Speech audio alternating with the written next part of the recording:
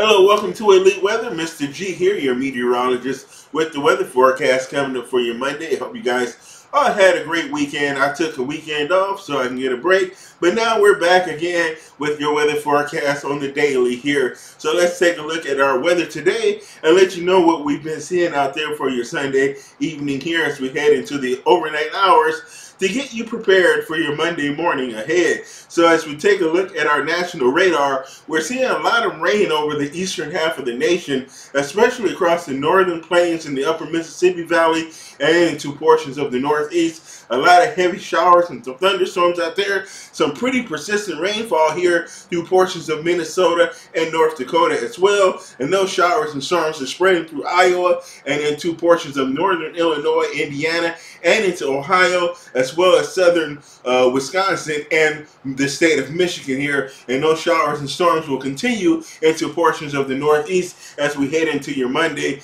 And then a lot of scattered showers and storms here across the southeast through the state of Florida and along the Gulf Coast and the lower Appalachian Mountain Range as we have moisture that's coming in off of the Atlantic and up from the Gulf of Mexico as this stuff kind of circumvents the the uh, periphery of the Bermuda High, so it's pumping in all of that tropical moisture. And that moisture is also feeding this moisture here across the four corners where we have our monsoon thunderstorms this afternoon that's really dumping a lot of rain out across the four corners through Arizona and New Mexico and into portions of Colorado and the central plains there. So that is a look at today's national radar. Here's our watches and hazards for this evening. We're going to have heat advisories in place across the Pacific Northwest. This is mainly for the upcoming Monday up there as we're going to see those temperatures approach the triple digits yet one more time as we're going to have another heat wave across the Pacific Northwest coming into your Monday. We're going to see that red flag advisory in Oregon there and our issues with some flash flooding here through the southern, central and southern Arizona where we've been seeing those monsoon storms and into Colorado as well. We're going to be seeing that moisture from the monsoons and we're seeing uh, flash flood issues this afternoon. Heat advisory across the center of the nation through Missouri and through Kansas and Oklahoma. We're going to see those temperatures near 100, but very high humidities. It's going to make it feel like 105 to 110 tomorrow. So we're going to be dealing with that as well. Heavy rain through here through the upper Mississippi Valley, through portions of Minnesota, Iowa, and Wisconsin, where we are seeing heavy rain that's going to be contributing to some flooding and flooding here in the northern Appalachian Mountain Range through West Virginia and Kentucky. So once again, more rainfall for an area that does not need it as you've had plenty of rainfall over the last couple of weeks. In that region, heat advisory for the Pacific North, for the Northeast into New England this evening, where we're seeing those temperatures in the 90s and that high humidity as well coming up off of the Gulf Stream. So we're seeing that moisture, that heat coming in off from the south ahead of this frontal boundary that's headed your way. So you're going to have a heat advisory for your Monday out ahead of those storms before they move into your area. And here is a look at our surface analysis for your Monday coming in for late tonight and into Monday. We have this frontal boundary here that's going to um, really affect the weather for a lot of folks on your Monday. So we're going to be seeing this front provide a lot of showers and thunderstorms through portions of the Great Lakes the Midwest as well, and into the Northeast. And we have this high pressure that's out over the Atlantic, and this periphery, that flow around that high, is bringing that moisture in off of the Atlantic and the Gulf of Mexico. So we're going to be seeing those showers and thunderstorms apart across portions of Texas, the Southeast, the Gulf Coast, and up to into the mid-Atlantic states. So scattered afternoon post thunderstorms for those regions and our four corners highest position right here. So it's going to be pumping in and pulling up some of that moisture off the Gulf of California and the Gulf of Mexico. So we're going to be seeing those monsoon storms. High pressure starting to build in across the Pacific Northwest and the Northern Rockies. And that high pressure is going to cause those temperatures to rise across the Pacific Northwest through Oregon and Washington. So that is to look at our surface analysis. Now let's talk about your severe weather outlook. Check this out. No severe weather expected for your for your Monday. No severe weather expected for your Tuesday.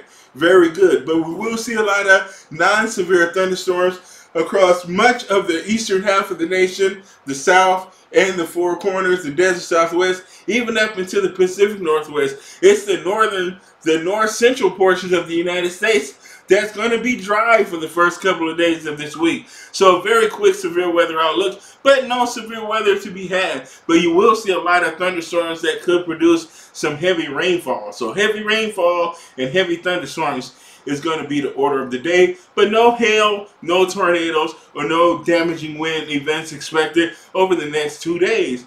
All right, here is your weather forecast for your Monday and Tuesday.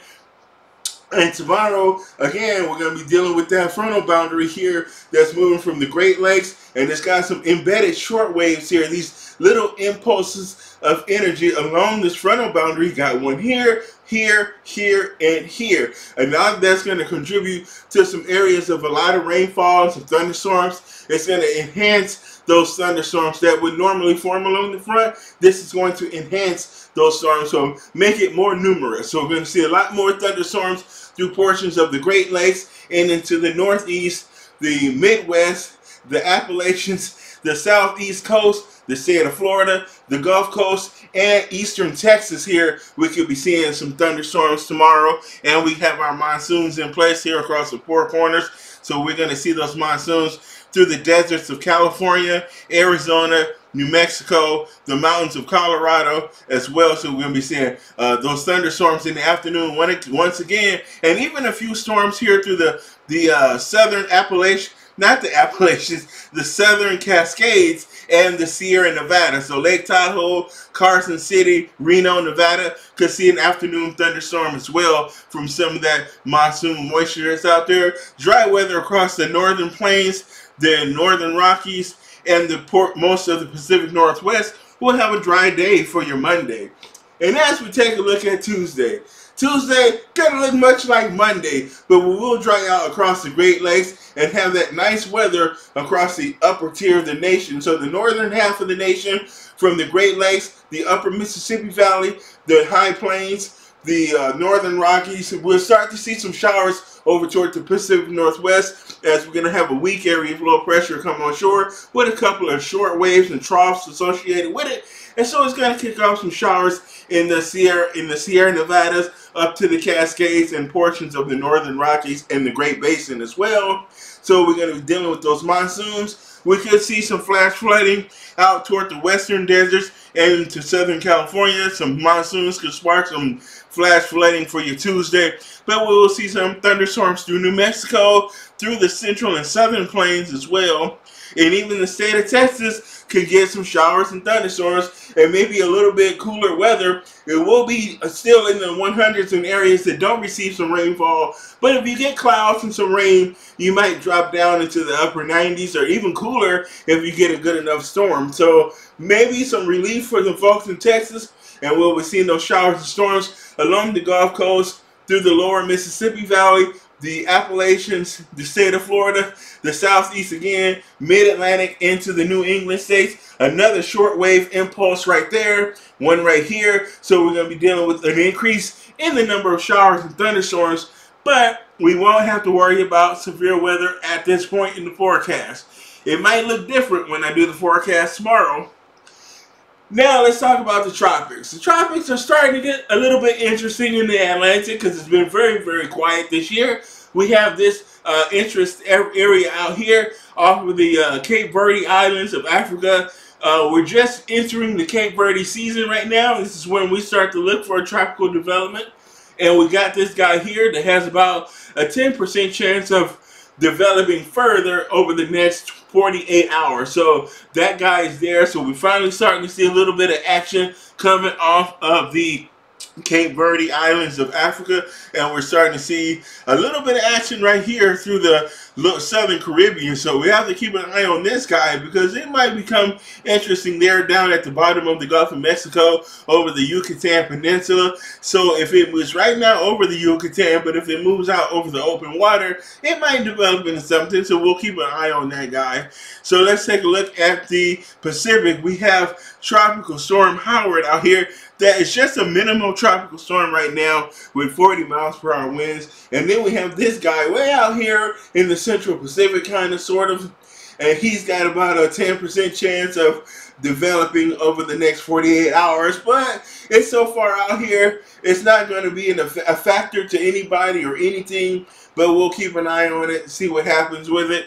But I don't anticipate it really developing fully into a tropical depression or even a tropical storm. So we'll have to keep an eye and see what happens with that.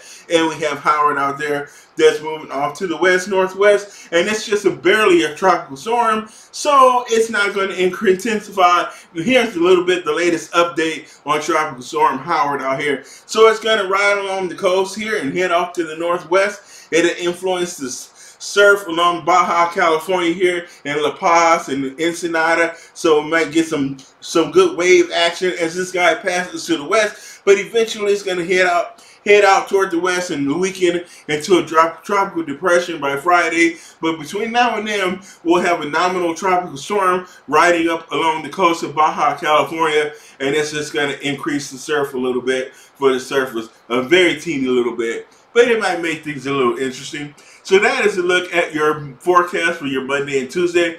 I'm your meteorologist, Mr. G, back from my brief, brief vacation there this weekend and back to the grind again. So I will see you guys tomorrow in the next video. Have a good day at work tomorrow or school if you're starting school already. Some schools might start a little bit earlier than others. But all in all, have a great day. I'll see you guys later. Bye-bye.